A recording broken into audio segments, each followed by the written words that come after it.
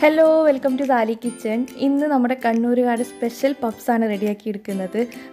ബേക്കറിയിലുള്ള puffs ഒന്നുമല്ല കേട്ടോ നമ്മളെ വീട്ടിലൊക്കെ പണ്ടേ ചെയ്തു വരുന്ന ഇഫ്താറിന് കോമൺ ആയിട്ട് ചെയ്യുന്ന ഒരു പപ്സാണിത് ഞാൻ എപ്പോഴും വിചാരിക്കും ഇത് ഷെയർ ചെയ്യണം ഷെയർ ചെയ്യണമെന്ന്.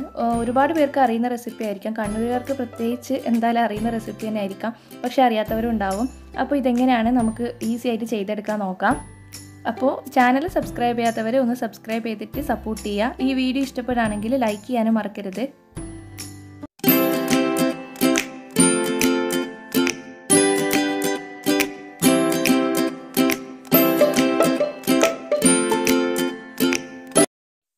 അപ്പോൾ ആദ്യം തന്നെ ഇതിന് വേണ്ടിയിട്ടുള്ള മസാല റെഡിയാക്കി എടുക്കണം. അപ്പോൾ ഒരു ഫ്രൈ പാനിലേക്ക് ഒരു രണ്ട് ടേബിൾ സ്പൂണോളം വെളിച്ചെണ്ണ ഒഴിച്ചിട്ടുണ്ട്.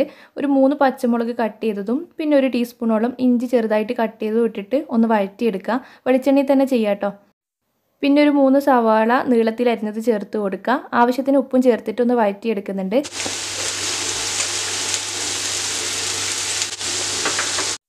സവാള നല്ല സോഫ്റ്റ് ആയി കഴിഞ്ഞ് കഴിഞ്ഞാൽ ഒരു ടീസ്പൂണോളം മഞ്ഞൾപ്പൊടി ചേർത്ത് കൊടുക്കുന്നുണ്ട്. ഒരു ഒന്നര ടീസ്പൂൺ ഗരം മസാല ഒരു കാൽ ടീസ്പൂൺ കുരുമുളക് പൊടിയും കൂടി ചേർത്തിട്ട് നന്നായിട്ട് മിക്സ് ചെയ്തെടുക്കുന്നുണ്ട്.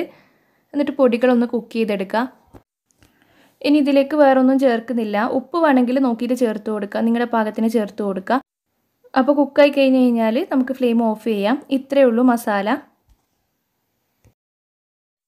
പിന്നെ ഇതിന് വേണ്ടിയിട്ടുള്ള മാവ് റെഡിയാക്കി എടുക്കാൻ വേണ്ടിയിട്ട് ഒരു ബൗളിൽ ഒരു കപ്പ് വെള്ളം ചേർക്കുന്നുണ്ട്.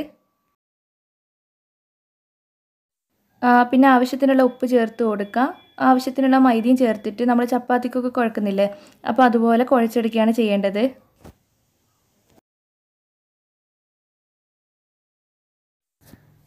മാവ് റെഡി ആയി കഴിഞ്ഞ് കഴിഞ്ഞാൽ ഇതങ്ങ് മാറ്റി വെക്കാം. ഇനി ഇതിന് വേണ്ടിയിട്ടുള്ള മുട്ട കട്ട് ചെയ്തെടുക്കണം. അപ്പോൾ ഞാനൊരു എട്ട് മുട്ടയോളം പുഴുങ്ങിയെടുത്തിട്ടുണ്ട്.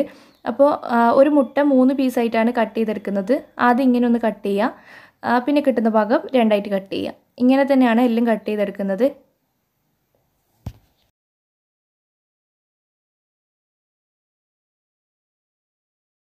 അപ്പോൾ ദാ ഇതും റെഡി ഇതങ്ങ് മാറ്റി വെക്കാം. ഇനി നമുക്ക് പരത്തിയിട്ട് ഷേപ്പ് ചെയ്തെടുക്കണം. അപ്പോൾ ഉണ്ടാക്കി വെച്ച മാവുന്ന ഒരു ചെറിയ ഉരുളി എടുക്കുക എന്നിട്ട് നീളത്തിൽ പരത്തിയെടുക്കണം. റൗണ്ട് അല്ല കേട്ടോ ഒന്ന് നീളത്തിൽ വേണം പരത്തിയെടുക്കാൻ വേണ്ടിയിട്ട്. ഇതാ ഈ വീഡിയോയിൽ കാണുന്ന പോലെ. ചെറിയൊരു വീതിയും പിന്നെ കുറച്ച് നീളത്തിലും.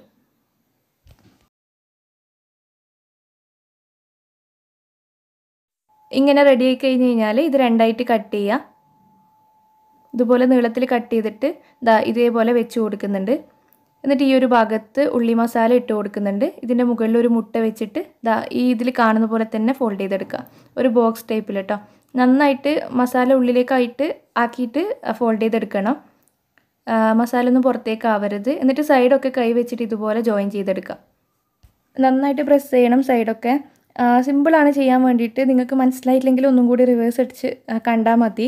ഇതുപോലെ തന്നെയാണ് നമ്മളെല്ലാം ചെയ്തെടുക്കുന്നത്. നന്നായിട്ട് പ്രസ് ചെയ്തിട്ടില്ലെങ്കിൽ അതിന്റെ ഉള്ളിൽ പിന്നെ ഓയിൽ കയറും അപ്പോൾ അതൊന്ന് ശ്രദ്ധിക്കുക. ഇതുപോലെ എല്ലാം ചെയ്തെടുത്തിട്ടുണ്ട്.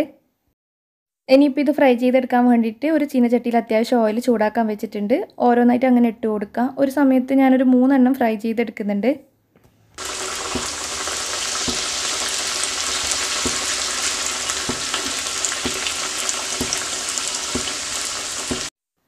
പെട്ടെന്ന് തന്നെ കുക്കായി തുടങ്ങും. ഒരു ഭാഗം റെഡി ആയി കഴിഞ്ഞ് കഴിഞ്ഞാൽ അങ്ങ് മറിച്ചിട്ട് കൊടുക്കുക. എന്നിട്ട് ലൈറ്റ് ആയിട്ടുള്ള ഒരു ഗോൾഡൻ കളർ ആകുന്നവരെയാണ് നമ്മൾ ഫ്രൈ ചെയ്തെടുക്കുന്നത്.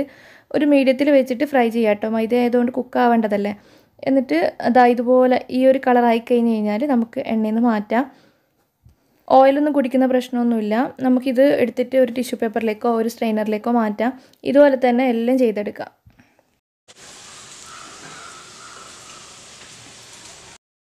അപ്പോൾ ഇതാ നമ്മുടെ നാടൻ പപ്സ് ഇവിടെ റെഡി ആയിട്ടുണ്ട്. നല്ല കിട്ടിലും ടേസ്റ്റ് ആട്ടോ. നമ്മൾ പുറത്തുനിന്ന് വാങ്ങിക്കുന്നതിനേക്കാൾ എത്രയോ നല്ലതാണ് ഇതുപോലെല്ലാം വീട്ടിൽ ചെയ്തെടുക്കുന്നത്. നല്ല ക്രിസ്പിയുമാണ് അതുപോലെ നല്ല മസാലയും സൂപ്പർ ടേസ്റ്റാണ് എന്തായാലും ഉണ്ടാക്കി നോക്കിയിട്ട് തന്നെ അതിന്റെ ടേസ്റ്റ് മനസ്സിലാവുള്ളൂ. അപ്പോൾ കണ്ണൂർക്കാർക്ക് ഇത് കോമൺ ആയിരിക്കും. എന്നാൽ അറിയാത്തവരുണ്ടെങ്കിൽ ഒന്ന് ട്രൈ ചെയ്യുക ഇതുവരെ ചെയ്ത ചെയ്ത് നോക്കാത്തവരുണ്ടെങ്കിൽ ഒന്ന് ട്രൈ ചെയ്യുക എന്നിട്ട് ഫീഡ്ബാക്ക് അറിയിക്കണം. വീഡിയോ നിങ്ങൾക്ക് ഇഷ്ടപ്പെടുകയാണെങ്കിൽ ലൈക്ക് ചെയ്യാനും ഷെയർ ചെയ്യാനും മറക്കരുത്. താങ്ക്